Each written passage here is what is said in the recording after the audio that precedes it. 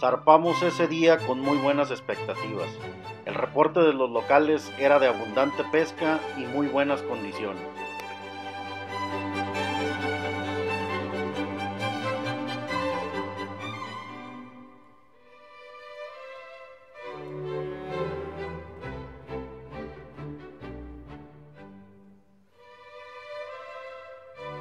Toño, pescador experimentado, nos sugirió llevar un poco de carnada para utilizarla solo en caso de que los peces no picaran con curricán.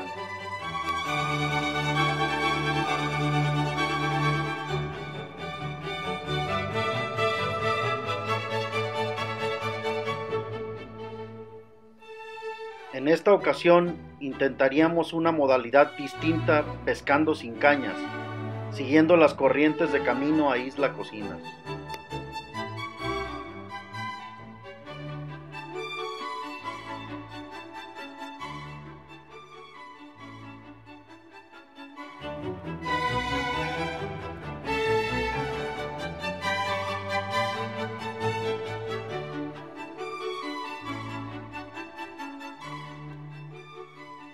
A escasos cinco minutos de haber soltado las líneas, ya estábamos peleando nuestro primer par de dorados.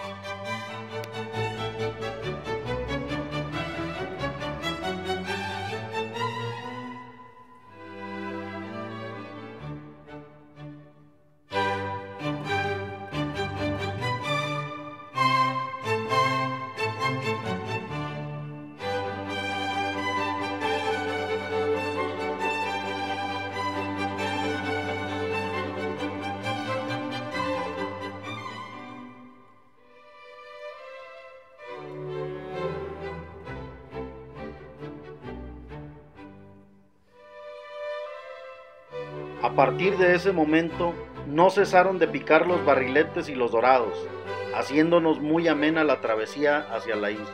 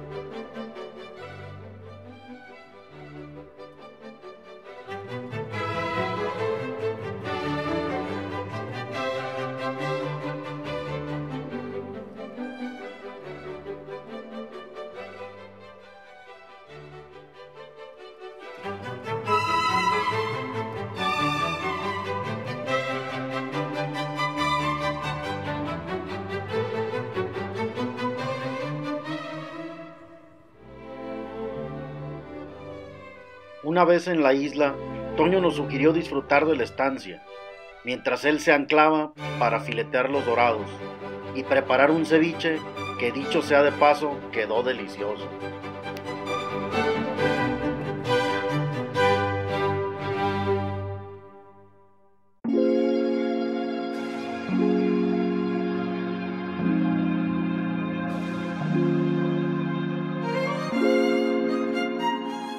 La experiencia del snorkel con mi familia y amigos fue increíble. La visibilidad era perfecta y las prístinas aguas del lugar nos brindaron hermosas imágenes para el recuerdo.